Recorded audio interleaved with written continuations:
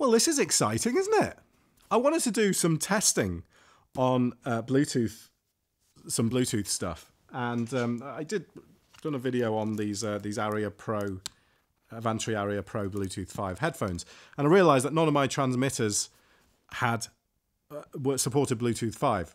So because I wanted the testing to be using you know two devices that supported Bluetooth 5, I just decided to go on Amazon and get a couple of uh, different and new transmitters. And I thought I'd just quickly show you them so you can, I'll just give you my initial opinions on them really. And uh, these haven't been sent to me or anything. These are products that I've bought myself.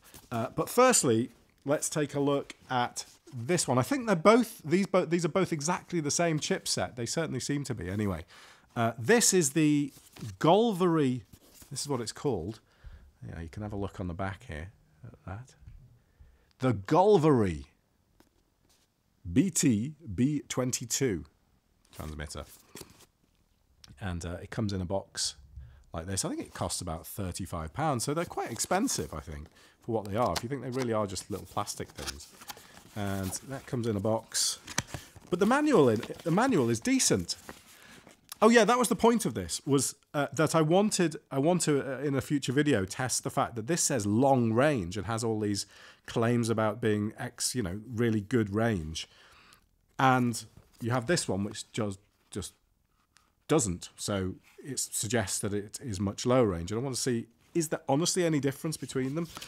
So it comes with a manual which is all English and is pretty decent. I was quite impressed with the manual. Two little boxes inside one containing the device and another another containing various cables that you might need to use this. But that includes RCA to 3.5 mil. It includes a 3.5 mil to 3.5 mil. It includes a micro USB charging cable. And it also includes a Toslink cable as well. Look at that, you get a nice little Toslink cable in there. Only a cheap one, but you know, Nice of them to put that in there. Anyway, I don't really need any of those because I've got so much stuff like this that, that I don't have any need for any more cables of that type. So let's have a look at the product. This is the Golvery one. This is designed, and every bone in my body says that this should perform better, right? Because it's got aerials on it. But I'm not convinced that it will. And I'm, I'm not convinced that these aerials are even even bloody connected. I wouldn't be surprised if they're not. Uh, and and again, I, I sort of think that you have aerials like this in a kind of diversity situations when you're dealing with RF, as far as I know. But I can't really see why Bluetooth would benefit from that, or how, in fact, it would utilize two antennas in this way. I'm not quite sure how that works. But then again, I don't know. So. I'm still of the opinion that if something has its antennas free from the main unit, it surely will perform better, right? Anyway, let's take a look at the product a little bit closer up. So let me just uh, grab the zoom on my camera here and zoom in. Uh, so the good thing about this is that it has uh, all your codecs that it's using. So it tells you if it's using aptX, it tells you if it's using aptX HD, low latency, or standard SBC. It does support AAC as well. Uh, but um, there isn't a light for that one. There is on this. There is on this one. It's the only benefit I see with this this one actually is the fact that it has a light for AAC. So that's not focusing, is it? Never mind. And it also has a quick kind of pairing buttons here, play pause. So for receive, if it's being used as a receiver, you can do play pause and track next track and things like that. You can also with the play button switch from low latency to HD mode in aptX, and you can hold down that button. There's various combinations of things you can do on this. If I take a look at the back, you can see that not only do I have an optical input, I also have an optical out, which is unusual. I haven't seen that on a Bluetooth transmitter before, but it, I guess it's you know, standard, really, isn't it? I mean, it's a logical thing to need. But of course, if you have optical out, you've then got an extra LED that's got to be on all the time and that uses more battery. So you got your DC5 in, you know, your micro USB in there, two Toslink opticals, and 3.5 mil jacks there. And not only that, this supports NFC only as a receiver, so I can't connect this, I can't pair this up to a, a bunch of headphones, a pair of headphones if I use it as a transmitter. But as a receiver, this has an NFC chip in here too, so you can pair your stuff using NFC.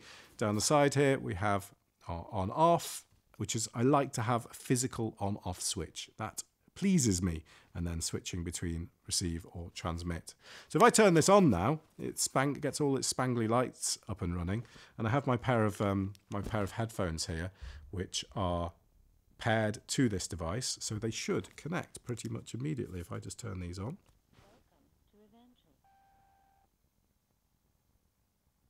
Yeah, there we go. So you see that it's connected, and they're connect these connect these headphones are connected via Bluetooth 5 via aptX low latency.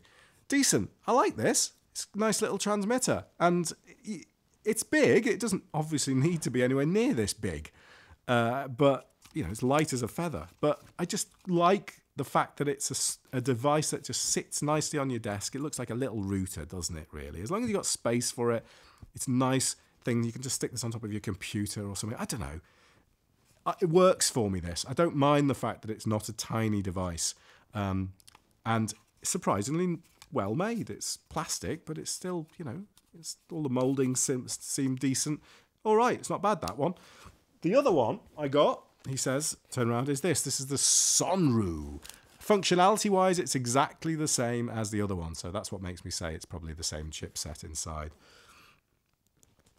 And this is a, a Bluetooth 5 transmitter and receiver, and it looks like this. So it's more your sort of standard small Bluetooth transmitter and receiver, but it does, of course, still have your optical in and out and um, has just one auxiliary port there. So you don't have one for transmit and receive. It's not designed so much to be hardwired in permanently like that other one is. But you do have all your standard controls here down the side. So in the same way as on that other one there, you had these little, you know, the ability to switch and, and, pair stuff and play and pause there. You've got the same, exactly the same controls there. So I'm assuming this is made, I don't know, made in the same factory probably. Uh, it gives, I'll turn this on for you. And you can see, hopefully, it's not terribly, it's not terribly nice to use. You got your sort of lights that flash underneath what's going on. It's and it kind of obscures what you can see. I'll, I'll, I'll be honest and say this thing looks pretty nice. I like the design of it. I like this kind of like shiny plastic here versus the matte plastic here and this sort of not embossed, but you know, that kind of shiny uh, name on there. I like that from a design point of view, but as soon as you touch this thing, you just think that is a load of crap. It's plasticky as anything. I feel like I could just pull this top off.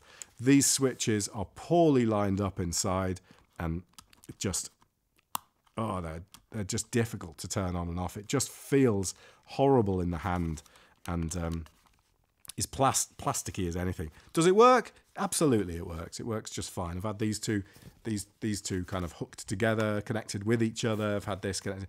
Works perfectly. But as far as build quality is concerned, this thing's nasty. Don't like it. So um, I wouldn't recommend this one.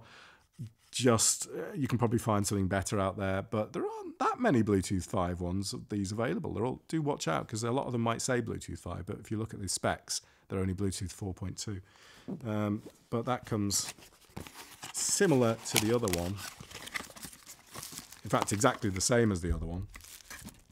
Comes with your standard complement of cables including that same toslink cable so great yeah, so they're about 30, 34 pounds each, these things. 34 pounds for that seems pretty expensive to me. And even though this is doing exactly the same thing, 34 pounds seems a little bit more reasonable.